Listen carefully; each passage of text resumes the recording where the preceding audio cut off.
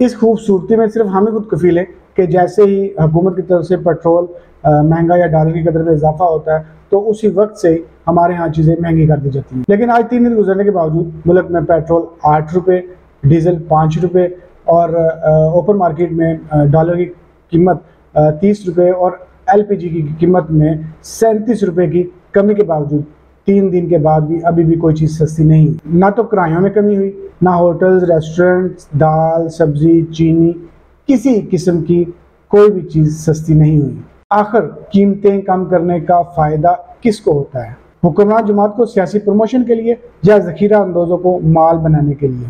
ओगरा ने एलपीजी की कीमतों में कमी करते हुए नोटिफिकेशन के साथ ये कहा कि ये नोटिफिकेशन फौरी नाफजुल अमल है। नोटिफिकेशन के मुताबिक एलपीजी एक सौ छियानवे रुपये पचहत्तर पैसे के बाद एलपीजी का घरेलू सिलेंडर चार सौ अड़तीस रुपये सस्ता हुआ, लेकिन सिर्फ़ नोटिफिकेशन की हद तक।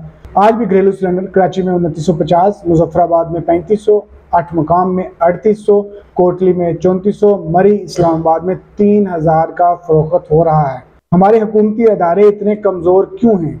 चंद माह कबल हुकूमत ने सिगरेट पर एक्साइज ड्यूटी में इजाफा किया नतीजे में गैर कानूनी सिगरेट का शेयर अड़तालीस फ़ीसद तक पहुँच गया। दो अरब से जायद सिगरेट पैकेट्स पर चोरी टैक्स हो रही है।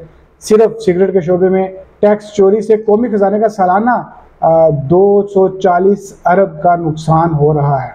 ये ये नुकसान हुकूमत का नहीं, बरह रास्त आवाम की जेबों से निकल के चंद खानदानों की जेबों में जा रहा है। क्या ये निशानदेही करता है? कि हमारे मुल्क का इंतज़ामी निज़ाम, सफारिश, कल्चर और चापलूसी पर खड़ा है। अभी मुल्क में पेट्रोल, डीजल और डॉलर की कदर में इजाफा होने की तो होती है तो मार्केट में से चीज़ें गायब हो जाती हैं। पिछले तीन दिन से हकूमती जमातें सोशल मीडिया पर कीमतें कम करने की जे कार कर रही हैं। लेकिन हकीकत यह है कि अभी तक कोई भी चीज़ सस्ती नहीं हुई